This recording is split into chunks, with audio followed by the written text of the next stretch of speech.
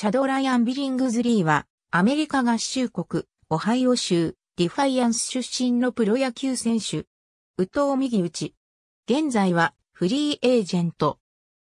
ビリングズリーは2002年に、シェルブルックで行われた、 IBAF 世界ジュニア選手権で3試合に投げ3勝0敗、防御率2.45という成績で、アメリカ代表の銅メダル獲得に貢献。デファイアンス高校時代の2003年には11試合で6勝1敗、防御率1.49で113奪三振という成績を残す。また56回を投げ支給は16個だった。2003年の MLB ドラフトでロサンゼルスドジャースから1巡目指名を受け、137万5千ドルで契約。ドラフト指名後、ルーキーリーグのオグデンラプターズで投げ5勝4敗、防御率2.83の成績で、プロ1年目を終えた。2004年は、A 級ベロビーチドジャースに昇格し7勝4敗、防御率2.35。2005年は A 級ジャクソンビルサンズで13勝6敗、防御率3.51だった。2006年シーズン開幕前に、ベースボールアメリカ誌は、ビリングズリーをドジャースの最高若手有望株と評価した。同年、トリプル A 級ラスベガスフィフティワンズで開幕を迎え、6月15日、ペトコパークでのサンディエゴパドレス戦でメジャーリーグデビュー。5.2回を投げ6安打、3奪三振、2失点という内容だった。またこの試合では、初めての打数で2点タイムリー安打を放ち、自らの負けを消した。結局この試合はドジャースが7対3で勝利したが、ビリングズリーには勝利はつかなかった。この年は18試合に登板して7勝を挙げた。2007年の開幕時はブルペンで迎えることとなった。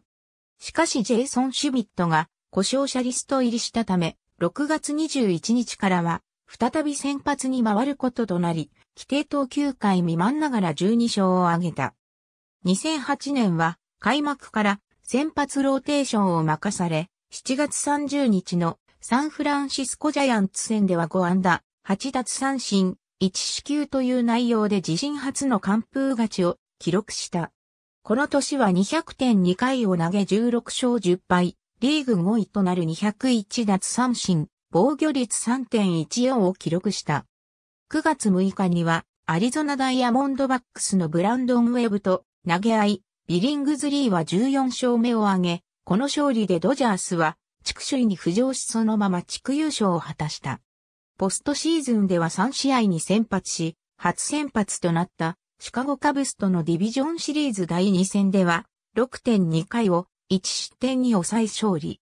しかし残る2試合ではフィラデルフィアフィリーズとのリーグチャンピオンシップシリーズの第2戦で2.1回を投げ8失点で敗戦投手となり、第5戦でも2.2回を3失点と活躍を見せることができなかった。シーズンオフの2008年11月21日に、レディングの自宅郊外で、氷の上で転倒し腓骨を骨折した。しかし、春季キャンプ開始までに回復し大事には至らなかった。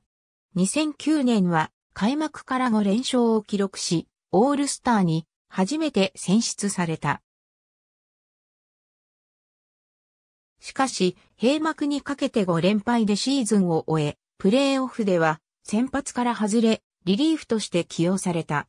2010年は31試合を投げ、前年と同じ12勝11敗でシーズンを終えた。2011年のスプリングトレーニング期間内に総額3500万ドルの3年契約を結んだ。6月5日のシンシナティレッツ戦で自身初の本塁打をトラビスウッドから放った。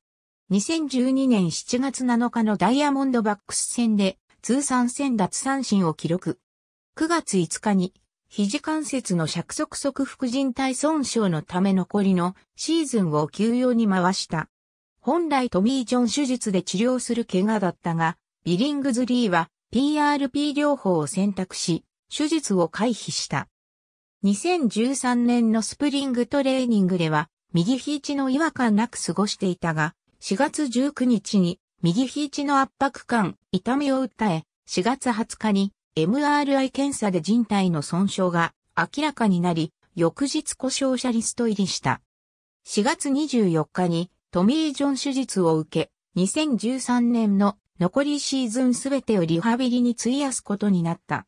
2014年はプレーすることはなかった。オフに契約オプションを破棄され、10月30日に FA となった。2015年1月29日にフィリーズと1年150万ドルで契約を結んだ。フィリーズでは2年ぶりにメジャーのマウンドに登り、7試合に先発登板した。しかし、防御率5.842勝3敗、ホイップ1.65という成績に終わり、往年の実力を取り戻すことはできなかった。同年11月2日に FA となった。ありがとうございます。